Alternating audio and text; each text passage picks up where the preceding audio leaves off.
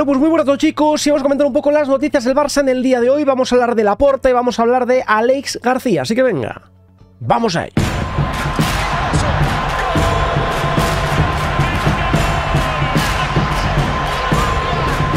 Bueno, pues acabo de despertar de la siesta, la verdad que me hacía muchísima falta, tenía que dormir, necesito aún dormir, he dormido muy poco hoy, estoy cansadísimo, pero bueno, aquí estamos con el segundo vídeo.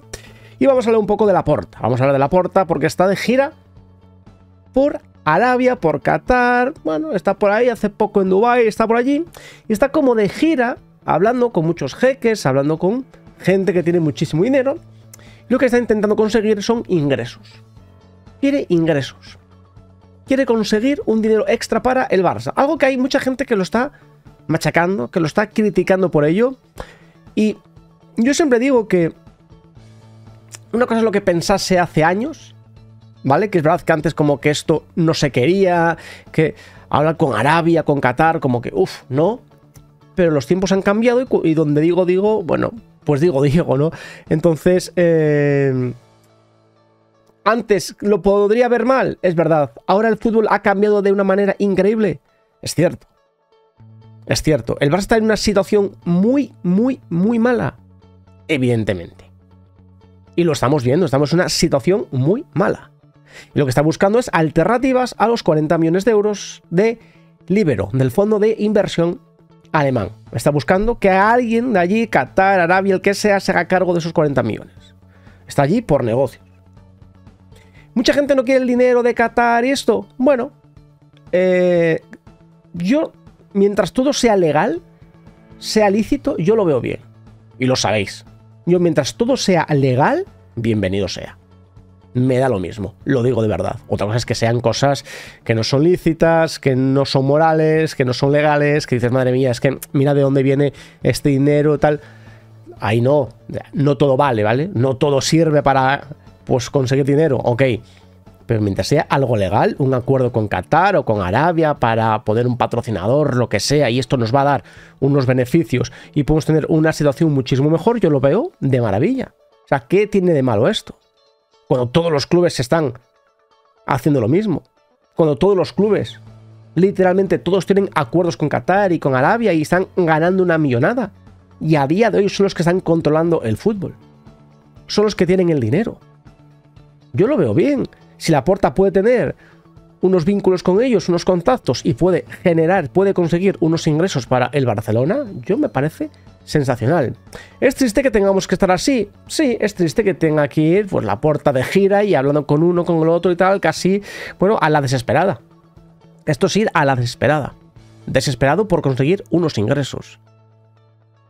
Pero es que la situación es desesperada. Desesperada. Yo, mientras no se ate eh, el futuro del club, mientras no se firme un acuerdo muy vinculante y tal, yo repito, encantado. Por supuesto, una vez que se firme esto, a ver si lo consigue, a ver si lo consigue, lo sabremos en pocos días, ya lleva como una semana. Eh, habría que ver todo.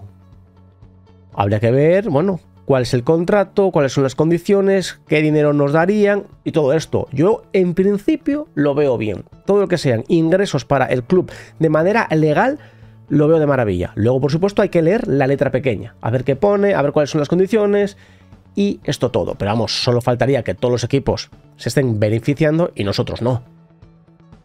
Y al ver que equipos de la Premier juegan con otras normas, que la FIFA, que la UEFA, nos van a poner una losa encima y viendo que no podemos competir por ningún fichaje, pues evidentemente si hay que buscarnos nosotros los ingresos por nuestra cuenta me parece bien. Yo esto no lo veo mal. Ahora bien, hay que esperar. Una cosa es que esté de gira por allí, una cosa es que esté hablando con Arabia, con Qatar, tal, y otra cosa es que lo consiga. Que tampoco son tontos.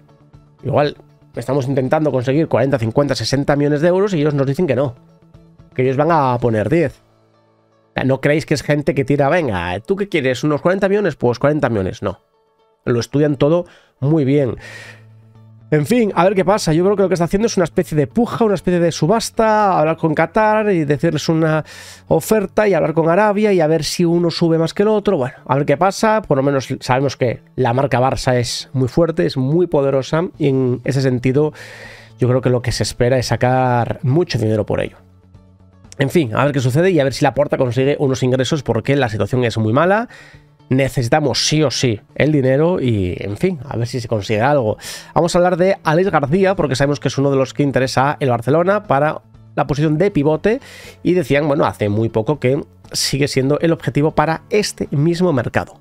Hace muy pocos días salía la información de que su cláusula era de 20 millones de euros, una cláusula que en principio no es mucho para el mundo del fútbol, pero sí para el Barcelona. Y el Barça 20 millones es complicado que lo fiche.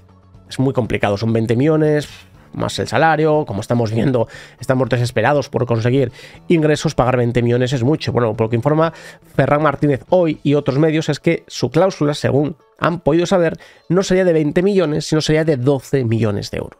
Su cláusula realmente sería de 12 millones de euros y no 20 como afirma el Girona. 12 millones de euros, bueno, es mucho más jugoso. También en su día decían que Oriol Romeo tenía una cláusula de 9 millones, de 10 millones y finalmente la tenía de 3,4 millones. Cambia mucho la cosa. Pues con Alex García pasa un poco parecido. Que su cláusula no sería de 20 millones, sino de 12 millones. 12 millones que el Barça sí que podría quizás tenerlo un poquito más fácil. Hoy habló Mitchell, además, su entrenador, y dice: Tengo la sensación de que Alex no saldrá.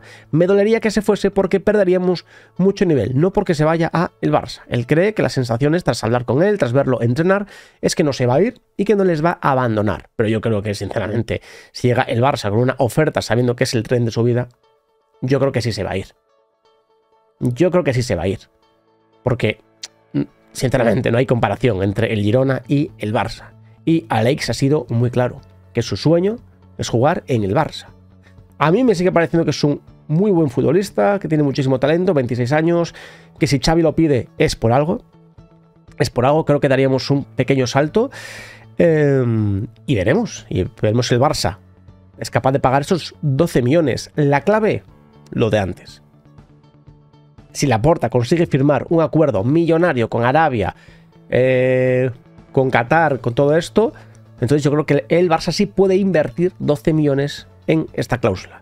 Si la Porta no es capaz de cerrar ningún acuerdo y no conseguimos esos ingresos extra que necesitamos, pues yo creo que no se podrá fichar. Es así de sencillo. Dependemos un poco de lo que se firme, de los ingresos, de, bueno, los nuevos patrocinadores. En fin, situación delicada, situación un poco mala. Parece que la cláusula es un poco más asumible, pero repito, sin ingresos, sin conseguir esos 40 millones de euros que necesitamos mínimo con lo de el impago este cubo, pues será complicado. Ahora, por supuesto, quiero saber vuestra opinión, qué os parece lo de la porta, qué os parece que está intentando conseguir ingresos como sea. En fin, a ver qué sucede. Eh, ¿Y qué os parece lo de Alex García? ¿Creéis que por 12 millones de euros merece la pena intentar este fichaje? ¿Os sigue pareciendo caro? ¿Innecesario? Si no, os leo. Por supuesto, apoyad este vídeo como siempre hacéis con un enorme like. Suscribiros si no lo estáis y nos vemos en el siguiente vídeo. Un saludo.